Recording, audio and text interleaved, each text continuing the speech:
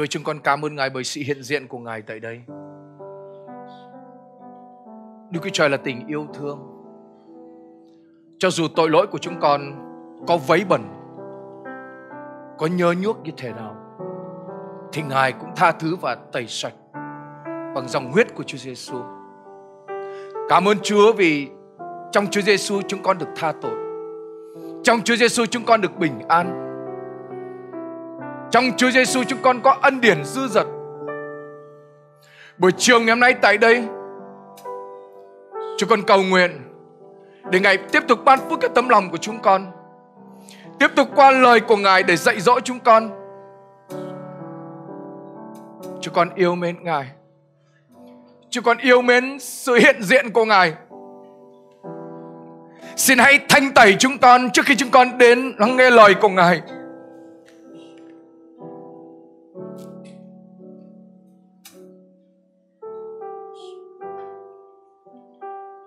Ta bẻ gãy tất cả những quyền lực tối tăm của ma quỷ trong danh uy quyền của Chúa Giêsu. Không có quyền cản trở, gây hại đến lối suy nghĩ, tư tưởng. Ta ra lệnh cho ngươi ngay giờ này ma quỷ. Hãy ngưng sự gợi ý của ngươi trên con cái Chúa tại đây. Con cầu nguyện nhân danh Chúa Giêsu, Thánh Linh ơi, Hãy để cho chúng con, Hãy giúp chúng con được tự do Qua lời của Chúa giờ này. Hãy khích lệ chúng con nữa. Không hãy giúp chúng con, Chúa ơi. Để cảnh tỉnh, Chúa ơi, Một lối sống. Ngay cả một lối sống có bề ngoài, Quần áo, Vóc dáng, Thời trang Hãy giúp chúng con có một lối sống thánh khiết trước mặt Chúa. Bởi vì Đức Chúa Trời của chúng con là thánh khiết. Cảm ơn Ngài. Nguyện Ngài bày tỏ qua lời của Ngài cho mỗi chúng con. Ngài khen Chúa. Chúng con cầu nguyện trong danh Chúa Giêsu Christ. Amen. Amen.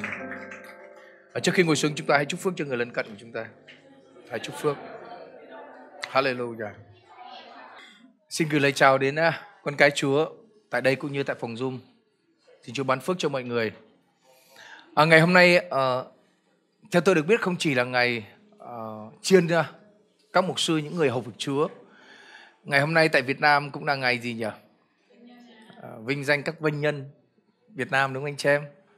Thực ra từ doanh nhân thì không phải là những người quá nhiều tiền hay là những người có công ty lớn mà doanh nhân ở đây có nghĩa là những người kinh doanh lớn và nhỏ nữa. Amen anh chị em. Nên uh, xin Chúa ban phước cho những anh chị em là những người uh, đang kinh doanh. Thực ra chúng ta đừng nghĩ rằng chỉ những người hầu việc Chúa mới là những người phải đối diện với áp lực. Thực ra kiếm được ra đồng tiền rất khó. Tôi thấy như cô đây chẳng hạn, nếu mà bán được một bát canh Ờ, canh cá thôi. Mọi người phải biết phải dậy từ 4 giờ thậm chí đi chợ từ hôm trước. Tôi cũng ờ, từng bán uh, bún cá thì tôi biết. Rất vất vả. Và những anh chị em uh, tôi thấy một số anh chị em sáng zoom trưa zoom tối zoom nửa đêm có khi cũng zoom. Họ làm việc rất vất vả để có được đồng tiền để sinh sống để dâng hiến cho nhà của Chúa. Thực sự đó là những thời gian rất là quý báu. Nhân ngày doanh nhân Việt Nam tôi xin Chúa ban phước cho anh chị em. Xin Chúa ban cho anh chị em sự khôn ngoan. Ban cho anh chị em thực sự sự khôn ngoan để có thể kiếm ra thật nhiều tiền vào để xây dựng vương quốc của Chúa. Amen anh chị em. Ờ, tôi tin rằng là giàu bao giờ cũng tốt hơn nghèo. Nhiều tiền tốt hơn ít tiền. Và trong thời đại mà như buổi chiều hôm nay, buổi sáng hôm nay tôi nói với anh chị em rằng tôi ao ước rằng xây chúng ta xây dựng hội thánh hiện đại, xây dựng hội thánh ảnh hưởng xây dựng hội thánh quyền năng và xây dựng hội thánh kính sợ Đức Chúa Trời. Thì thực ra muốn xây dựng hội thánh hiện đại, xây dựng hội thánh ảnh hưởng thì chúng ta cần phải có tiền. Mà tiền thì chảy từ đâu? Chảy từ những doanh nhân trong hội thánh. Và chúng ta thấy các ờ, những người mà doanh nhân tại Singapore đấy, cộng đã chia sẻ cho chúng ta về sự dâng hiến khi mua tòa nhà đúng không anh chị em? thực ra đúng thật hội thánh không phải là chỉ những người doanh nhân dâng hiến và cả những người rất bình thường dâng hiến nữa nhưng uh, phần lớn những công trình lớn hay là những khi mà mua những cơ sở lớn thì hàng triệu đô la hay là hàng chục triệu đô la thì những người bình thường không có cả không thể có hàng triệu đô la được không thể có hàng chục triệu đô la được mà phải có những doanh nhân. Bởi vậy hãy cầu nguyện cho họ. Đừng lúc nào cũng nhìn thấy họ là những người tham tiền nhé. Cứ nhìn thấy họ kiếm tiền là ui lại linh tham tiền rồi. Không hẳn là như vậy nên những cũng người doanh nhân cũng đừng nghĩ rằng chúng tôi, những mục sư chia sẻ nào ông mục sư lại chuẩn bị chia sẻ, sợ mình tham tiền. Không phải. Mà chúng tôi luôn luôn dùng lời Chúa để cảnh tỉnh anh chị em. Bởi vì cái danh giới của sự tham tiền nó không phải quá xa đâu. Anh chị em có nghĩ như vậy không? Khi mà chúng ta quá nhiều tiền mà chúng ta không có lời Chúa thì cực kỳ là nguy hiểm. Cực kỳ là nguy hiểm đấy. Nhưng bây giờ chúng ta quá nhiều tiền mà không có lời Chúa mà không sống kính sợ Đức Chúa Trời mà không dùng tài sản đó để làm vinh danh Chúa để hầu phục Chúa thì thực sự là nguy hiểm. Nên uh, sự danh giới nó cũng có. Nên tại sao các mục sư ngay cả chính tôi cũng hay nói những điều đó. Nhưng không phải là tôi nói anh chị em tham tiền nhé hãy hiểu đúng mà đôi khi để cảnh tỉnh ngay cả chính tôi và anh chị em nữa. Xin Chúa ban phước cho những doanh nhân. Và tôi cao ước rằng trong ờ, cụ điều nhóm Tây Hồ Minh Khai không chỉ có một vài doanh nhân mà có hàng trăm doanh nhân. Khi hội thánh chúng ta 5.000 người thì có hàng nghìn những doanh nhân. Mà khi kêu gọi một triệu hay hai triệu đô là chuyện bình thường. Tôi áo ước rằng đến khi mà mình có thể tự hào rằng mình đứng trên này kêu gọi hai ba triệu đô la mà anh chị em có thể dâng được. Chứ không phải là hai ba tỷ nữa mà hai ba triệu đô anh chị em cũng có thể dâng được mà tôi ao ước rằng cho đến khi mục sư ờ, hội trưởng phạm tuấn nhượng hay là các mục sư khác nói rằng thôi anh chị em ơi đã dâng đủ quá rồi nhiều quá rồi nhiều đến nỗi mà không nhận được nữa. Hallelujah chúng ta vỗ tay cho chúa của chúng ta. À, buổi sáng uh, cô mỹ hạnh vợ tôi cũng đã chia sẻ về góc khuất của người hầu việc chúa. Thực ra người hầu việc chúa có nhiều góc khuất lắm mà khóc khuất của cả những người doanh nhân cũng có khóc khuất nữa. Anh chị em bảo họ có khóc khuất không? Họ cũng đi ờ, vay nợ có chứ. Để đầu tư có phải đi vay không anh chị em? Ai ở đây đầu tư mà phải đi vay giơ tay? Có ai không? Rất nhiều đấy chứ. Hóa ra mình nói cũng đúng. Nên đừng, chúng ta đừng nghĩ rằng doanh nhân là nhiều tiền. Nhưng thực ra có những lúc họ phải đối diện với phải trả công nợ, họ phải đi vay. Và thậm chí có những người không có chỗ nào vay đó phải thế chấp thì họ cũng có những góc khuất của họ đúng không anh chị em? Nhưng những mục sư cũng vậy có những góc khuất của họ. Không bởi vì tôi là mục sư nên tôi nói như vậy nhưng có những góc khuất mà không thể kể ra được. Không thể kể ra được. Có cả góc khuất của những sự oan ức cũng có. Có góc khuất của những sự khó khăn cũng có. À, kêu gọi tôi lấy ví dụ góc khuất của một của các mục sư hầu như phần lớn ấy, có thể nói thật nhé là con cái và tài chính phần lớn, tại vì họ không được làm những công việc ở ngoài đời. Thực ra tôi nói điều này không biết có đúng không theo cách mà tôi nghĩ thôi. Có thể sai, xin chúa tha thứ. Nhưng hầu như những mục sư mà, làm mục sư mà kinh doanh để kiếm tiền thì thường bài giảng và lời Chúa của họ. Tôi nghĩ thôi. Thực ra cũng xung quanh đến vấn đề tài chính là phần lớn. Còn để sâu sắc trong lời Chúa, để đi đưa dân sự, đi trong, bước đi trong ý muốn của Đức Chúa Trời trong khải tượng trong đường hướng thì rất hiếm. Không phải không có nhưng rất hiếm. Nên anh chị em ơi nếu chúng ta có những người hầu việc Chúa chọn thời gian mà không làm việc hãy cầu nguyện cho họ. Bởi vì họ chuyên tâm cầu để chuyên tâm để cầu nguyện chuyên tâm để hầu việc Chúa thì lời Chúa của họ cũng sẽ khác hơn những mục sư doanh nhân. Bởi vì mục sư doanh nhân họ có tiền họ có thể mua những cái mà họ thích. Đúng không anh chị em? Nhưng tôi đọc cái quyển chuyện à, à, quyển sách xin lỗi anh chị em quyển sách của vợ mục sư Kenneth Hagin ân đền lớn hơn gì? Giá trả. Thực ra họ ao ước có một lọ nước hoa. Ao ước thôi mà cũng không được. Thực ra họ lọ nước hoa thì cũng không đáng là bao nhiêu tiền nhưng họ ao ước. Chỉ, họ chỉ ao ước thôi cũng không có. Bởi vì thực ra thì tiền lương của các mục sư nếu mà nhiều khi nói cho anh em anh em giật mình đấy. Anh em giật mình đấy họ cũng không có nhiều tiền để mua cái mà họ thích họ cũng không được kêu gọi dâng hiến cho chính đời sống của họ Nên tôi chỉ nói vậy thôi để mong anh em hãy cầu nguyện cho những người hầu việc Chúa. Đúng, họ không không không không phải là những người hoàn toàn là hoàn hảo. Chẳng có một mục sư nào trên đất này hoàn hảo cả. Họ luôn có những điểm yếu của họ. Nhưng tôi muốn nói với anh chị em một điều rằng cái động cơ của những người hầu việc xuất thật sự là động cơ để hội thánh được phát triển, để nhiều người được cứu vào trong vương quốc của Chúa mà thôi. Còn nếu không thì chả có một con người nào muốn lựa chọn cái công việc thực sự là khó khăn này, áp lực này mà lương thì không đủ nuôi gia đình. Anh chị em hiểu chứ? Nếu mà để lựa chọn một công việc để có kiếm tiền thì chắc chắn tôi không bao giờ lựa chọn làm mục sư. chắc chắn rồi. Tôi lựa chọn kinh doanh cơ. Tôi cũng thích làm doanh nhân lắm. Tôi cũng thích làm mục sư doanh nhân nữa cơ. Nhưng tôi biết để có được lời Chúa tôi không chỉ cầu nguyện đơn tuần là một hai tiếng mà càng mấy bần bầy chiên đông đảo hơn thì tôi lại càng phải dậy sớm hơn anh chị em rất nhiều để tìm kiếm lời Chúa và để gọt tỉa chính đời sống của mình cho phù hợp với bầy chiên 5.000 người sắp tới. Với sự sức giàu hiện tại, với tính cách hiện tại, với lời Chúa hiện tại thì không đủ để cung ứng cho 5.000 người sắp tới được. Nên tôi phải quỳ gối, phải cầu xin Chúa, phải học, phải gia tăng thêm sự khôn ngoan để cầu xin Chúa thêm hơn cho chính mình để sửa soạn cho một mùa gặt lớn, cho một mùa thâu chữ. Amen anh chị em. Nên hay nói với người bên cạnh rằng hãy cầu nguyện cho mục sư của mình. Hơi cá nhân nhỉ? Hơi cá nhân những thầy cô truyền đạo cũng vậy thôi, họ cũng rất là vất vả. Nào, bây giờ chúng ta đến lắng nghe lời của Chúa nhé anh chị em. Hãy cùng tôi mở trong sách uh, một Timothée chương 2.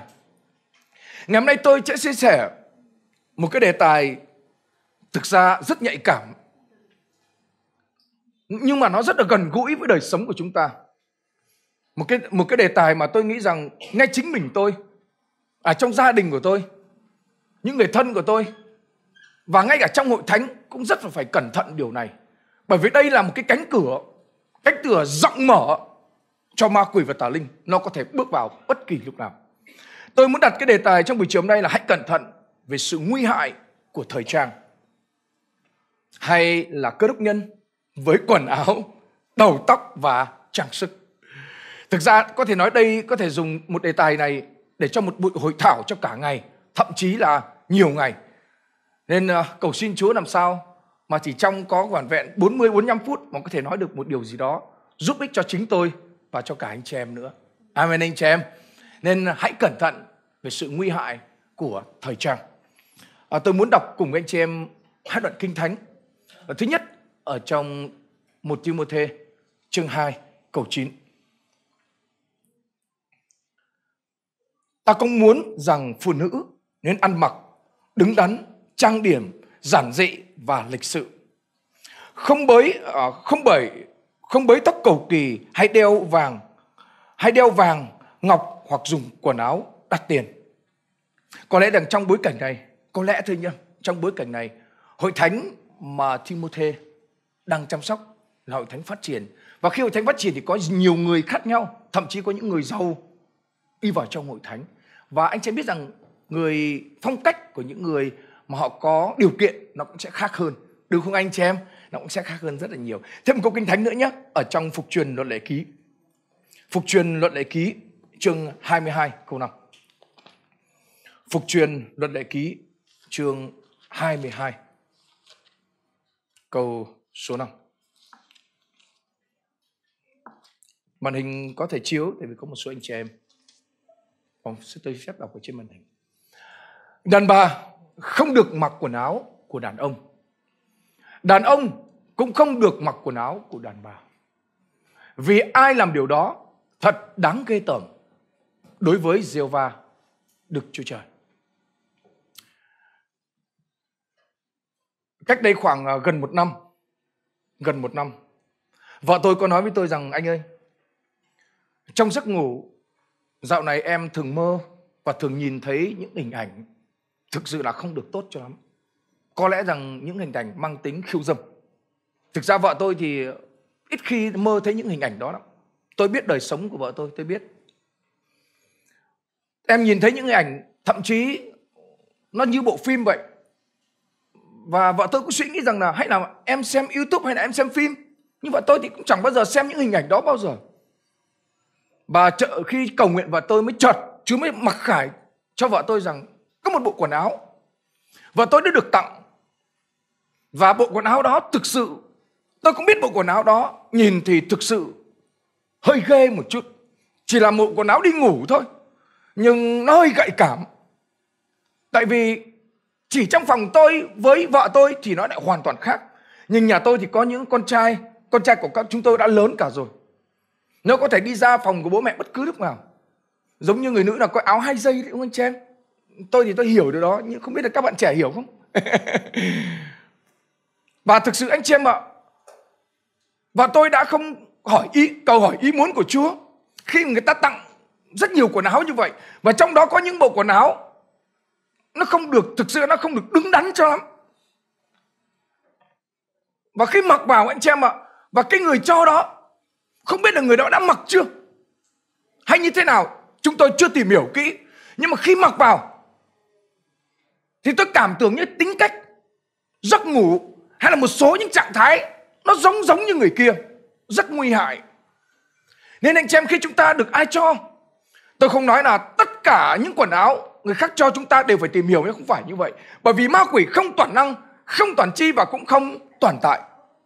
Nhưng nó là những cánh cửa để cho ma quỷ có thể bước vào được tôi lấy ví dụ, chúng ta có một số anh anh chị em cũng thích rất rất thích đi ờ, mua cái bộ quần áo giống như hồi xưa người ta gọi là hàng thùng đấy.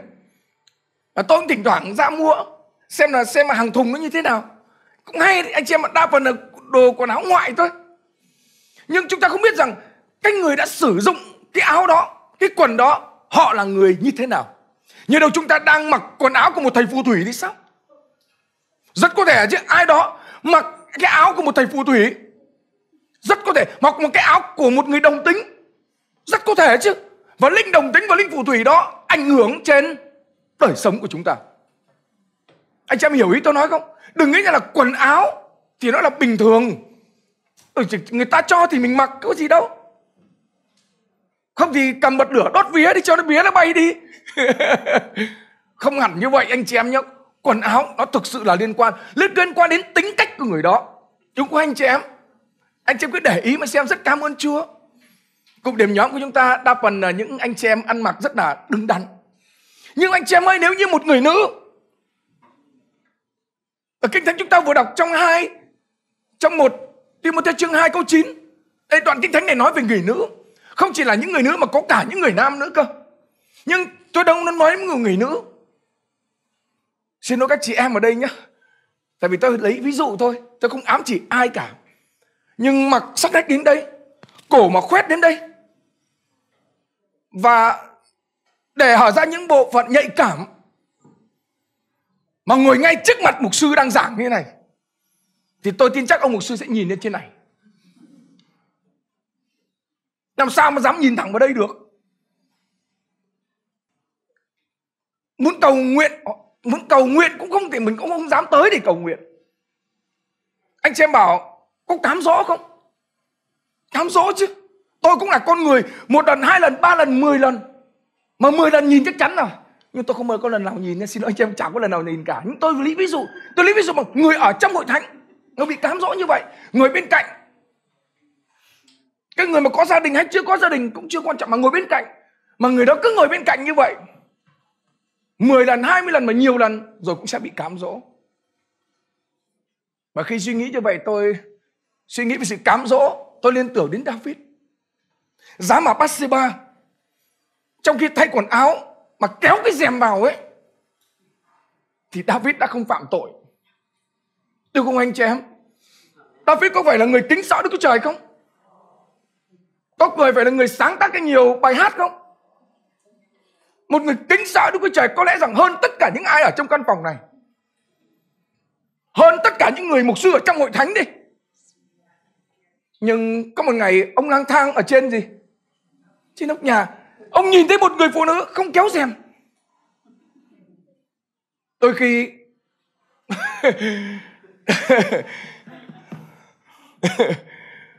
Đó, Bathsheba mà cẩn thận hơn thì David đã không phạm tội.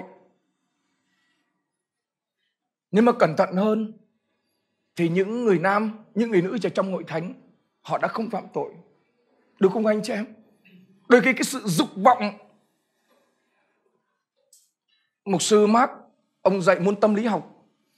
Ở trường kinh thánh năm ba, ông nói rằng khi người nam, người nữ mà cầm tay nhau thôi ấy, thì cái lượng hormone nó cũng đã tiết ra rồi. Nên là ông nói là trong mối quan hệ nam, nữ ở trong hội thánh, nếu chưa chưa đính hôn thì chớ vội cầm tay nhau hay là hôn nhau bởi vì rất dễ người ta sẽ phạm tội, tả dâm trước hôn nhân. Ô chúa ơi chúa yên, mục sư yên tâm em. Thực sự là, mục sư yên tâm đi, không bao giờ đâu. Phần lớn những người nói không bao giờ thì một một một thời gian sau nhìn thấy đã bụng đã to tướng rồi. Quay lại vấn đề quần áo. Đặt đó ờ, chúng tôi lên việt trì. Một người chị em mặc áo phông, có cái chữ tiếng anh. Tôi hỏi việt và việt cũng chưa trả lời tôi nhưng cái chữ tiếng anh nó nội dung nó nó như thế này này. Nghĩa là nội dung nó nói là chỉ cho cái người mặc cái áo đấy sẽ là cái người vay nợ đời đời. Nghe đôi khi chúng ta mua cái áo nó cái chữ tiếng anh ấy nó ghi mà chúng ta không biết nó ghi cái gì. Anh chị em hiểu hiểu không? Hoặc dường như là cái áo đấy nó ấn định rằng mình là người vay nợ đời đời. À, liên tục lúc nào cũng vay nợ đặc biệt là những người chơi nhạc rock ấy, họ có những cái áo rất là kinh dị. Đầu lâu này, đúng không, anh chị em? Và thực sự là nếu mà chúng ta mặc những cái áo đấy vào, xong rồi còn đứng đến đây thờ phượng chúa là thì thôi rồi. Anh chị em ơi, cái áo thì nó không nguy hại, nhưng cái hình ảnh là cánh cửa hợp pháp để cho ma quỷ bước vào đời sống của chúng ta. Áo khoét sâu, mang tính gợi cảm cũng là cánh cửa để mở cho chính người đó. Người đó sẽ có linh tám rõ người khác. Anh chị em hiểu ý tôi nói không? Ngay cả khi người đó soi mặt mình vào trong gương và giống như ma quỷ nói với Eva thấy chưa? Có đẹp không? Không sao đâu. Mà thực sự ai cũng thích khen cả. Các chị em đấy có thích khen không ui, mặc bộ này đẹp thế. Mặc bộ này gợi cảm thế. Ôi giời, câu đấy thì thôi rồi. Mặc suốt bộ đấy. Ma quỷ nó nói như vậy đấy. Không sao đâu. Mặc cái này gợi cảm mà. Mà bây giờ thời trang rồi, thế kỷ 21 rồi, người ta đi bằng vũ trụ rồi không giờ đi bằng xe máy nữa đâu. Và anh chị em ạ. Người ta không biết rằng đó là cánh cửa hợp pháp để cho ma quỷ có thể bước vào. Có thể bước vào. Con trai của tôi, khi tôi bước vào trong phòng, tôi bắt đầu cầu nguyện. Thì căn phòng đó lộn xộn, những tà linh chạy. Và thế thì nhà mục sư cũng có tà linh à? Không phải. Mà khi các con của tôi xem đặc biệt gần đây khi tôi phát hiện ra xin lỗi anh chị em không phải gần đây mà lâu rồi hơn một năm rồi. À, con của tôi lại đi mua những cái ờ, cái tóc giống như anime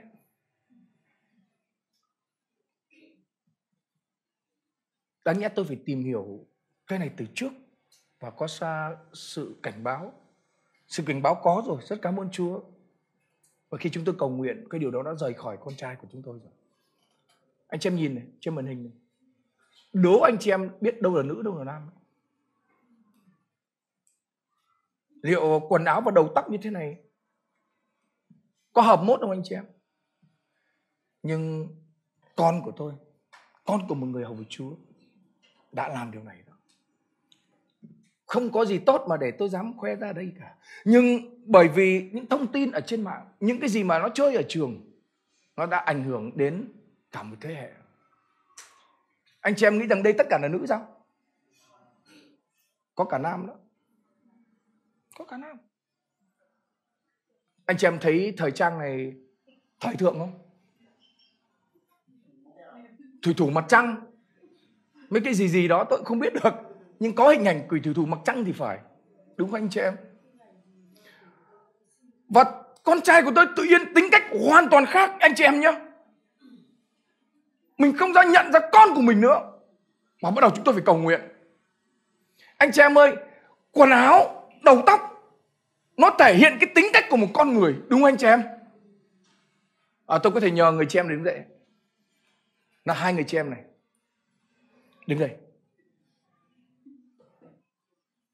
Nếu như mà nhìn vào hai bộ quần áo này, thì chúng ta có thể đánh giá được sự giản dị và sự đứng đắn được. Đúng không anh chị em? Mừng có amen với tôi không?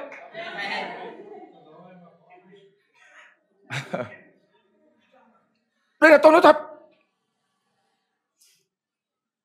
Bởi vì sao? Bởi vì cái bên trong này, nó sẽ gì? Ảnh hưởng sao đến bên ngoài thực sự là như vậy đấy anh chị em ạ.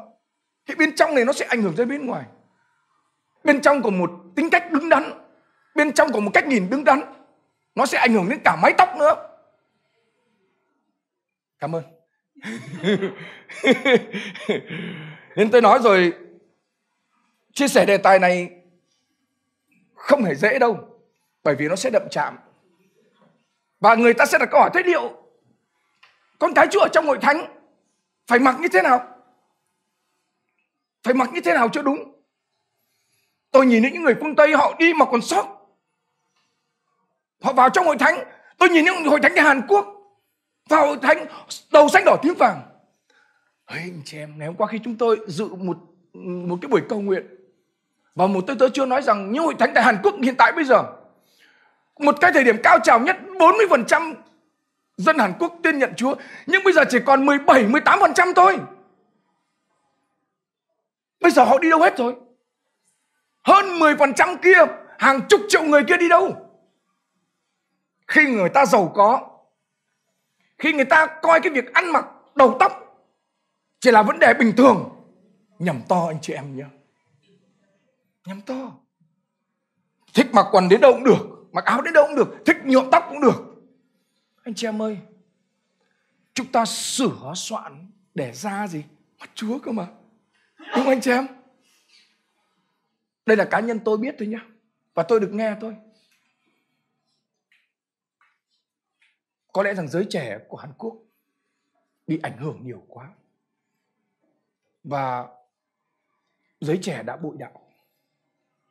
Đời sống quá sướng, không còn, không, nghĩa là tiền cung ứng đầy đủ rồi. Xe cộ, nhà cửa, mọi thứ đều ổn định hết rồi. Lúc đó người ta không còn cần đến Chúa nữa. Người ta bắt đầu phô trương khoe cái đẹp của cơ thể. Ngày hôm nay tôi chưa đến nói đến cái vấn đề mà làm đẹp trên thân thể liệu có được phép hay không? Tôi thấy nhiều người nữ đi spa xong rồi đi ờ, cắt chỗ đó nhồi chỗ kia. Liệu như vậy có có đúng ý muốn của Đức Chúa Trời không? Với động cơ như thế nào?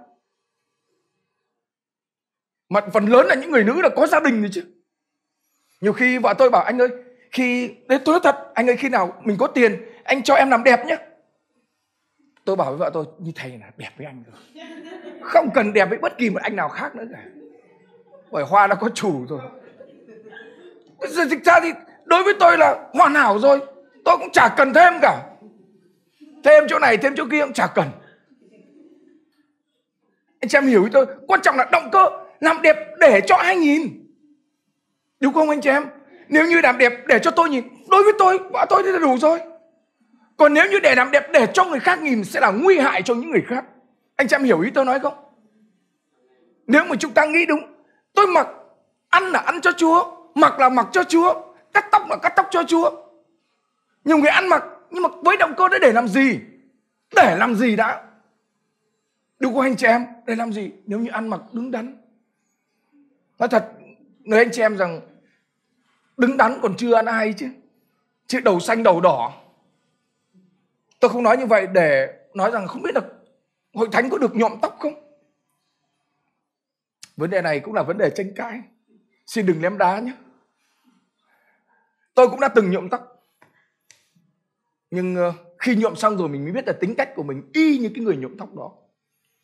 Bởi vì trước khi tôi nhuộm tóc thì tôi sẽ nhìn xem một ai đó trên TV, một nhân vật nó nào trong phim hay là một nhân vật nó nào ca sĩ thì tôi nhuộm mà cắt như người đó. Hội thánh không cấm nhưng tôi nói điều này. Động cơ chúng ta nhuộm hay cắt hay mặc để làm gì? Hiểu không anh chị em? Để làm cái gì thôi có hợp với thời trang. Nhiều hội thánh ở phương tây họ quá tự do. Nhưng đấy là cách chúng ta nhìn thôi. Nhưng tôi sang hội thánh tại nga. Hội thánh lời sống tại nga, tôi thấy họ ăn mặc lịch sự lắm. Người vào hội thánh ăn mặc rất lịch sự. Ăn mặc cực kỳ sang trọng. Ăn mặc đẹp nữa là khác. Mà còn rất nhiều đồ đắt tiền nữa cơ, không phải đơn giản. Nhưng họ chọn đồ rất là đẹp. Rất lịch sự, nhìn rất bắt mắt. Rất bắt mắt. Nhiều khi ờ, tôi thấy một sư uh, Masula một sư trưởng ấy đi dự ờ, đại hội thanh niên ông còn mặc cái à, ông đeo, đeo mặc cái quần bò hơi rách rách thành tí đây nghĩa là ông không mặc cái quần rách nhưng ông mặc để hợp với giới trẻ để nói chuyện với giới trẻ cho dễ. Nhưng không phải rách toạc cái này đâu nhé hơi một tí tí thôi. Áo phông nhưng mà trông rất là đứng đắn. Nó toát ra cái vẻ lịch sự đứng đắn chứ không phải rách cho này tí rách mông một tí kéo xuống đây một tí. Không phải như vậy. Hơi một chút thôi.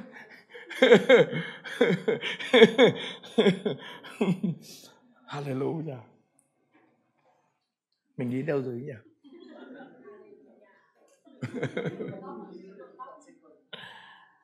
Đến khi ờ, anh chị em mua quần áo, các chị em đặc biệt là các chị em. Đây ờ, là lời khuyên thực sự thôi. Hãy chọn bộ quần áo sang trọng lịch sự. Ngay cả khi quần áo đi ngủ cũng sang trọng lịch sự. Bởi vì nếu như không cẩn thận, chúng ta sẽ mở cánh cửa, mở cánh cửa cho ma quỷ đó. Bởi vì ma quỷ chỉ bước vào khi chúng ta mở mà thôi. Và phần thứ hai, ngày mai tôi chia sẻ hai phần thôi. Bởi vì đây là một đề tài rất rộng, có thể lúc khác tôi chia sẻ thêm. Phần thứ nhất tôi nói đến quần áo. Tôi nói đến bộ quần áo ngủ. Nói đến thời trang ở trong hội thánh. Trước khi sang phần 2 thì tôi muốn nói điều này một chút nhé. Đó là nguyên tắc ăn mặc của Đức Cơ Đốc Nhân ở trong hội thánh thì cần nguyên tắc gì? Đây không phải là nguyên tắc của tôi đưa ra nhé. Nhưng có lẽ rằng tôi tìm hiểu thì tôi đưa ra như thế này. Thứ nhất, lên kín đáo. Thứ hai là hợp lý và thích hợp. Hợp lý nghĩa là thích hợp. Thích hợp nghĩa là như thế nào? Anh chị em không thể đi ra sân vận động đá bóng anh chị em mặc một cái áo dài xong thắt cà la vát được. Đúng không anh chị em? Rõ ràng như vậy nó phải hợp lý chứ. Đến với hội thánh có nhiều người khác nhau. Người lớn có, người lớn tuổi có, người trẻ tuổi có. Thậm chí có những người mới mà họ vào trong hội thánh họ chưa được thay đổi cũng có.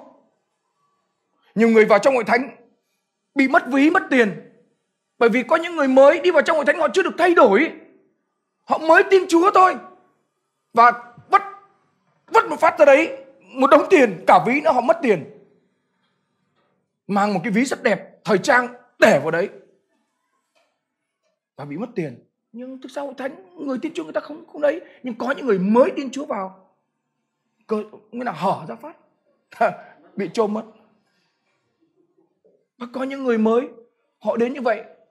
Có những người tin chúa động cơ vào đây tìm uh, chồng tìm vợ. Mắt vừa vào chúa chả nhìn thập tự giá cứ nhìn lung tung này. Xem có anh nào cô em nào đẹp trai xinh gái không? Cứ nhìn này thôi. Mắt cứ thô lố nhìn lung tung. Nhưng đâu có nhìn lên bài giảng đâu có nhìn lên, lên thập tự giá đâu. Nhưng mà nhìn xem xung quanh có anh chàng nào chị nào. Đấy đấy kiểu nhìn nhìn như đấy đấy, đấy, đấy. ví dụ như vậy thôi. Hallelujah. Quả thật là một đề tài rất khó để chia sẻ. Nhưng tôi cầu nguyện, tôi nghĩ rằng Chúa muốn anh chị em nghe cái đề tài này. Và sang điều thứ hai tôi sẽ nói về đầu tóc, hình xăm và khuyên tai. Ồ, oh, không biết có động chạm không?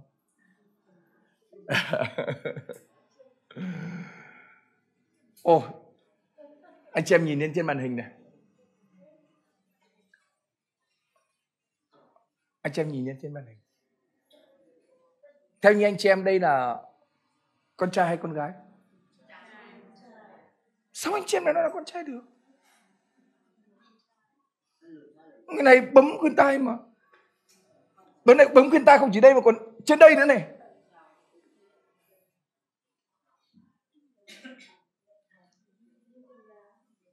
Đầu tóc, khuyên tai, hình xăm để trở nên cá tính hơn, để trở nên có thể có người khác gây lên sự chú ý hơn cho người khác. Có thể để cá tính hơn, để có một cái khuyên tai bình thường như thế này. Có nhiều thanh niên, có nhiều bạn là thanh niên trong hội thánh cũng có. Muốn rằng mình có một khuyên tai bấm vào đây hoặc bấm bên này. Thực ra khi tôi đọc ấy, thì tôi phát hiện ra rằng có những địa điểm mà bấm khuyên tai để bày tỏ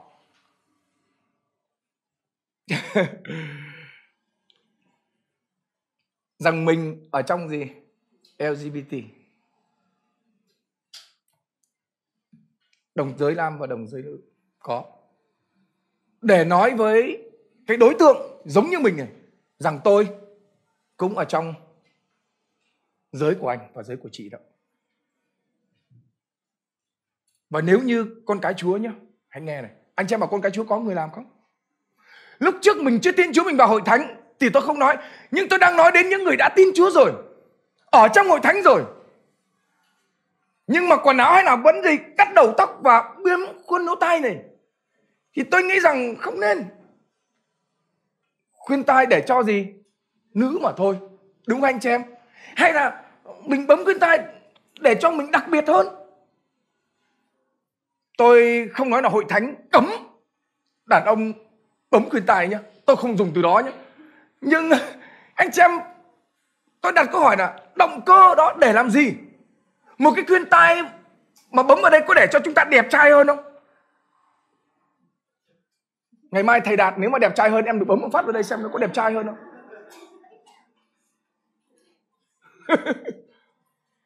Hay là bình thường tóc như này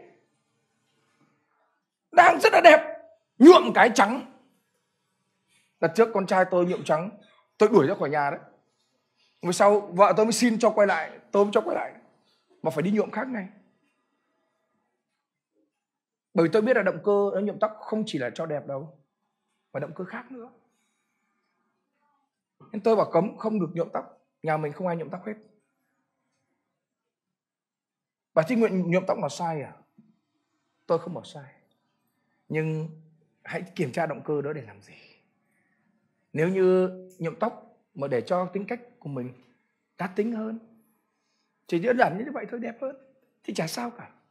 Nhưng nếu như vì một hình tượng nào đó,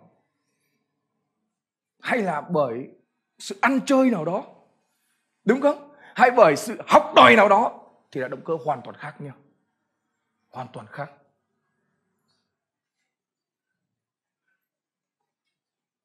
Cá nhân nếu mà tôi khuyên nếu mà để khuyên thật như một mục sư ở trong hội thánh tôi khuyên những bạn thanh niên là những bạn trai thực sự là không nên bấm khuyên tai. Bởi vì rất dễ một cái tính cách hoàn toàn nữ tính nó sẽ chảy vào trong những người đó, đó. một cái tính cách khác hoàn toàn với bản chất của con người đó sẽ chảy đấy. Đó là cánh cửa hợp pháp đấy nhé anh chị em thấy bây giờ một vị mục sư trên này mà đeo khuyên tai, anh chị em thấy nó có bình thường không? Khi anh chị em, tôi đang nói đến cả phần đi xin việc chẳng hạn nhé, hay là đối tác. Bây giờ anh chị em, dù có là doanh nhân hay gì, anh chị em thấy một ông doanh nhân bấm cái đôi tay đeo thực giá ở đây, đứng trước mặt anh chị em. Trong đi xin việc thôi, nếu mà tôi mà là giám đốc, một người kể cả ăn mặc đứng đắn như nào buộc phát bấm lỗ tai ở đây. Tôi nói là người này không bình thường người này chắc chắn là có cái điều gì đó bấm lỗ tai. Phải, những cái người mà tự nhiên bấm lỗ tai ở đây, người ta sẽ theo dõi được lỗ bấm lỗ tai để làm gì? Anh chị em sẽ đọc mà xem. Đọc dùng mình lắm. Khi tôi đọc, đúng là tôi dùng mình. Kiểu tóc cũng thế. Mà đọc hình xăm còn dùng mình hơn. Có những người xăm bình thường ở đây, mà con bướm ở đây bình thường. Có những người nữ nhé xăm còn con bướm ở trên này. Anh chưa biết xăm đây là làm gì không? Để cho những người nam nhìn thẳng vào ngực của mình ấy. không phải đơn giản đâu. Xăm vào những chỗ gậy cảm nhất. Động cơ. Tôi có thể nói dùng từ hơi quá. Động cơ hơi bẩn thỉu. Sao muốn vào đây làm gì? Để khoe thể xác sao và đây nhất khi tôi tôi cầu nguyện cho một người, mà tôi vừa đứng ra trước mặt cái. Thì chúng ta nhìn, thì chúng ta phải nhìn mặt người đó là ai để chúng ta cầu nguyện, đúng không? Thì có rõ ràng một con bướm ở đây tôi không cần phải nói tiên tri hay phải nói lời khôn ngoan. Thì tôi cũng đã biết thừa người đó. Đời sống của người nữ đó, anh chị em ơi, thực ra đúng như con bướm thật. Nó bay đi chỗ này, nó đậu một chút, xong nó lại bay chỗ kia, nó đậu một chút. Anh chị em hiểu ý ta không? Bay đến chỗ anh này đậu một chút. Mút mật lại bay đến chỗ anh kia một chút. Thưởng thức bay đến chỗ anh kia một chút. Hãy cẩn thận với những người nữ có hình xăm như vậy. Ong mới bướm ấy, thì nó đừng bay anh chị em ông đậu nguyên một chỗ đâu. Nên nếu có hãy xóa nó đi. Hãy xóa nó đi. Thực sự là kinh khủng ở trong kinh thánh có nói về hình xăm không? Có. Có nói về hình xăm. Có nói về hình xăm. Thực sự là có nói về hình xăm. Ở trong kinh thánh có nói về tàu đó không? Có nói. Chúng ta quay lại câu kinh thánh Timôthê nhé. Một tiêu đề chương 2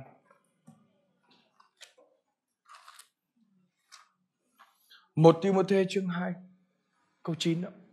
Ta cũng muốn rằng phụ nữ nên mặc áo đứng đắn, trang điểm giản dị, lịch sự, không bới tóc cầu kỳ hay đeo vàng. Ngọc hoặc dùng quần áo đắt tiền. Tại sao ở đây này Sư đồ Phaolô lại khuyên Timôthê như vậy? Khuyên hội thánh như vậy? con hãy căn dặn hội thánh như vậy? Hãy căn dặn những người nữ như vậy? Có, tiền tôi có thể mua quần áo đắt tiền chứ. Có tiền tôi có thể làm những bộ tóc đẹp chứ. Có tiền tôi phải mua ngọc vàng đeo đầy. Tôi thấy nhiều người người ta giàu lắm. Nhưng mà người ta cũng không khuê trương đâu. Tôi thấy có những người mà không có tiền nhưng mà đeo độc vàng rỗng, đánh ba chỉ, mua ba chỉ nhưng mà làm cái kiềng to đùng nhưng mà chỉ có ba chỉ thôi đánh mỏng tí gì thế này anh chị em để cho hoành tráng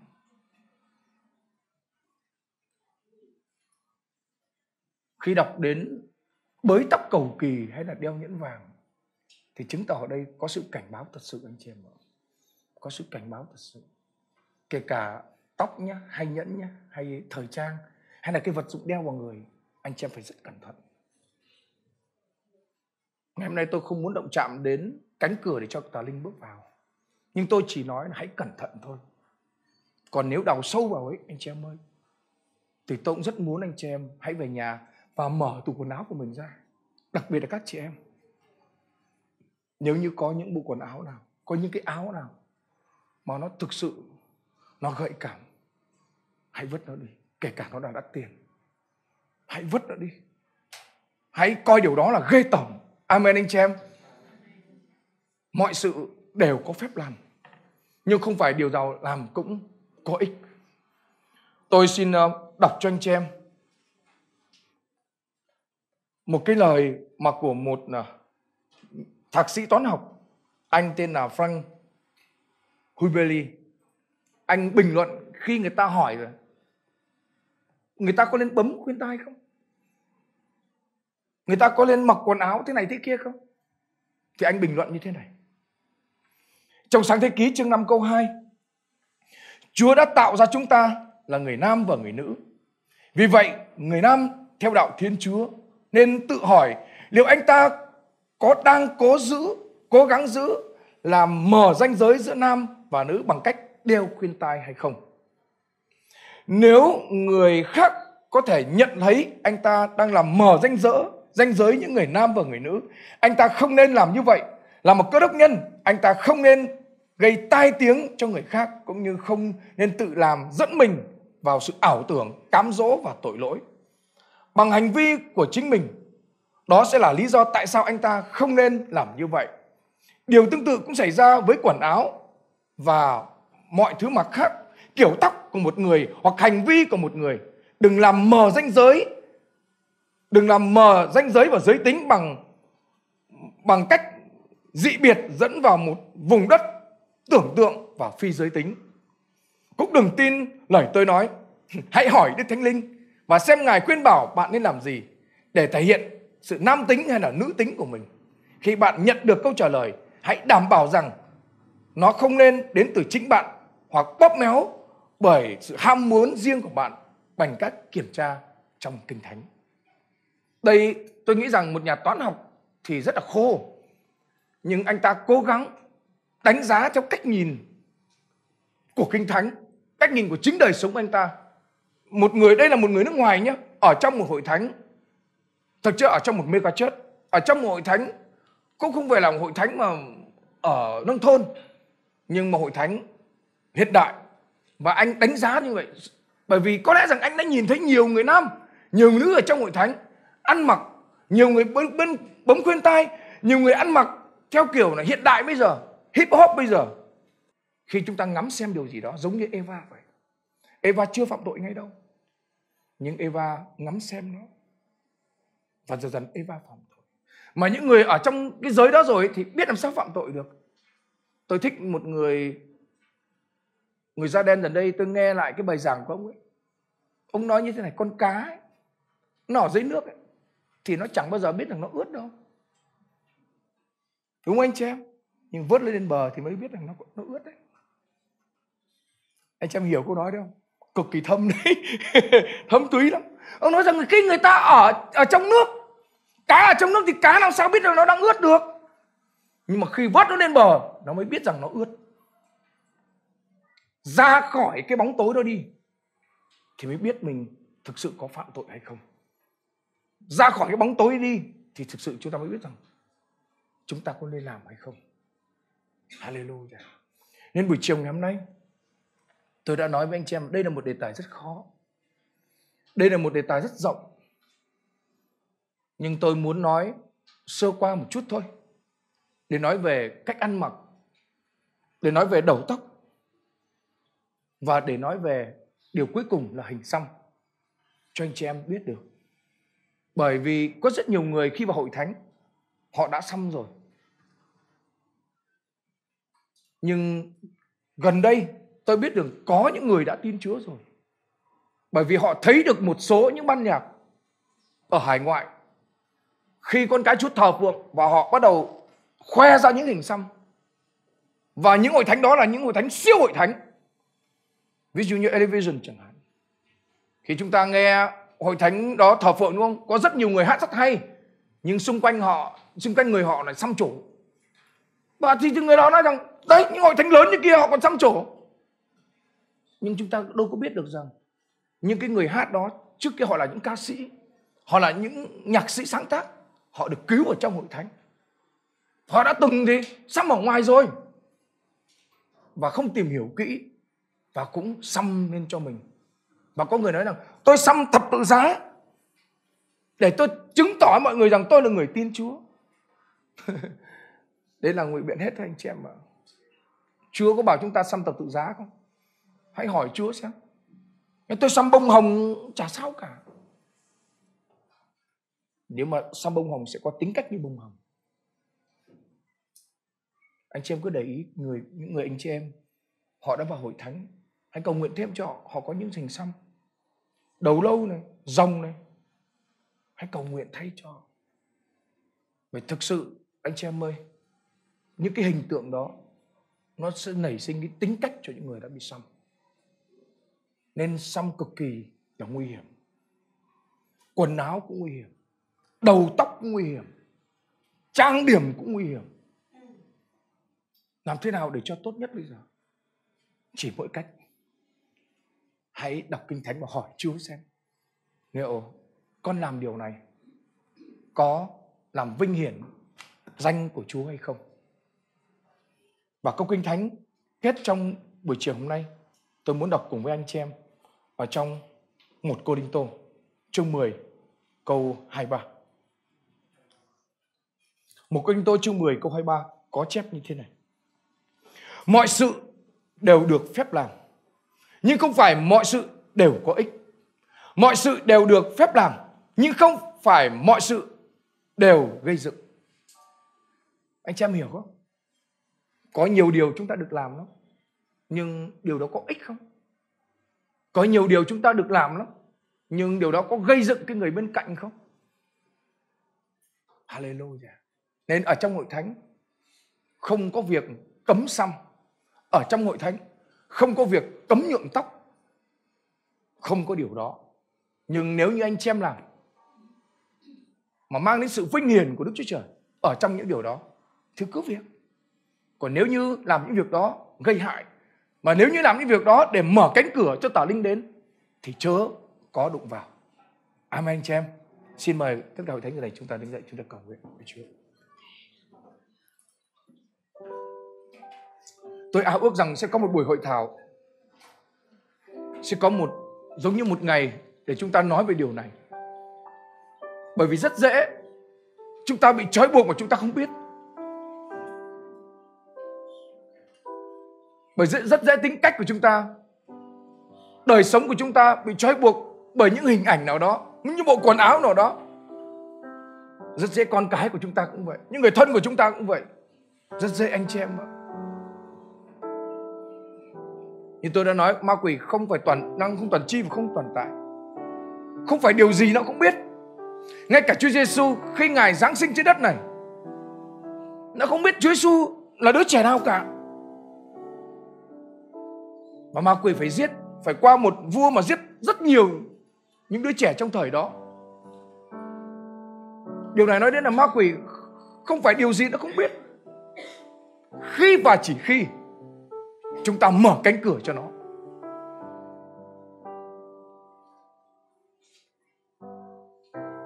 Cha, chúng con đến với Ngài buổi chiều ngày hôm nay.